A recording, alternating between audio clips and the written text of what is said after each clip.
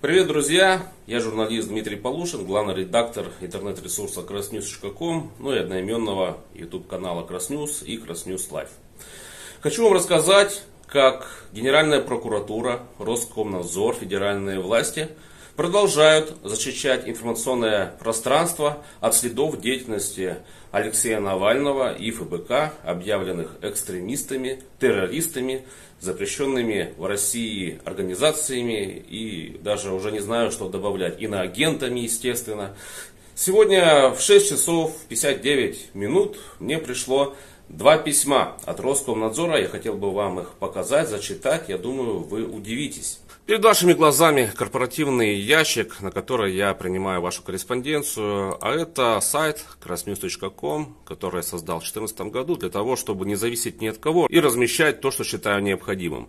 На этом сайте я и мои редакторы размещали публикации о новых расследованиях Навального, в том числе «Я вам не Димон», «Таинственный остров Дмитрия Медведева» и прочее. Так вот, сегодня пришли письма из Роскомнадзора. Я вам их процитирую.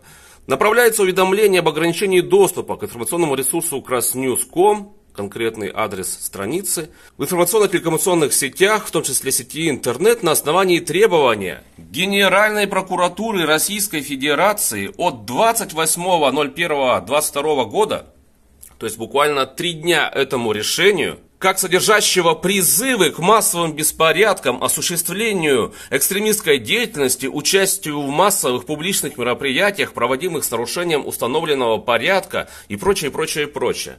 Открываем вложение.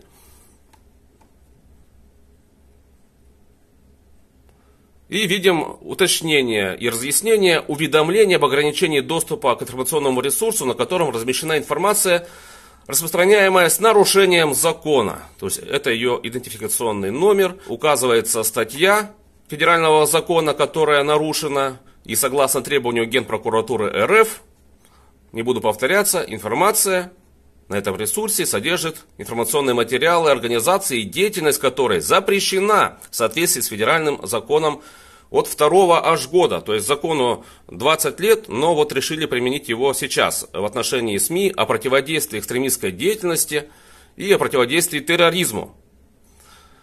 Ну и далее описывается конкретно, что же натворил я и мои редакторы, описание запрещенной информации.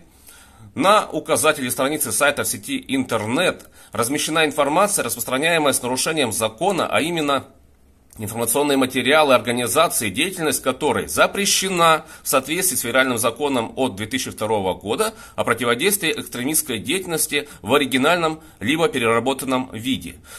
Соответственно, второе письмо абсолютно такое же, посвящено уже второй публикации, тоже связанная так или иначе с Навальным и с расследованием по Дмитрию Медведеву. А это, друзья мои, уже YouTube – и здесь те самые расследования, против которых выступает Генеральная прокуратура и Роскомнадзор в свободном доступе. Никто их не запрещает, никто их не может заблокировать, потому что, я так понимаю, YouTube не идет навстречу Генеральной прокуратуре, не идет навстречу Роскомнадзора.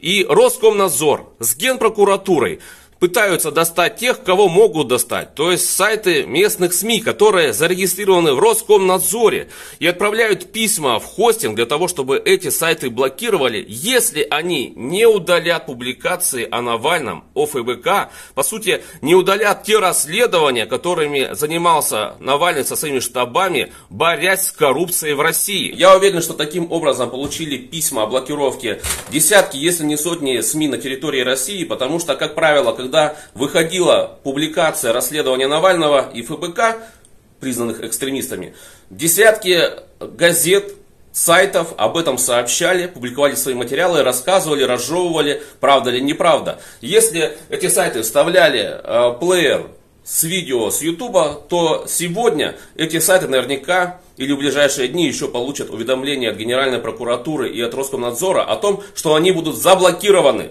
если они не уберут эти материалы. Но по сути-то возмущает что?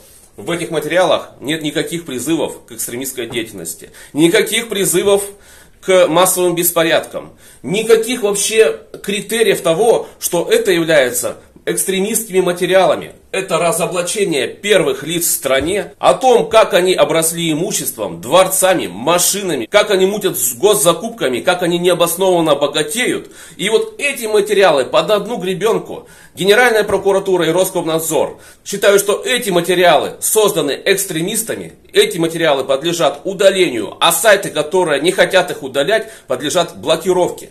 Я не исключаю, что следующим шагом Генеральная прокуратура и Роскомнадзор будет добиваться блокировки Ютуба. Блокировки как минимум этих видео, ну а если не сможет их заблокировать, то будет ставить о блокировке всего видеохостинга.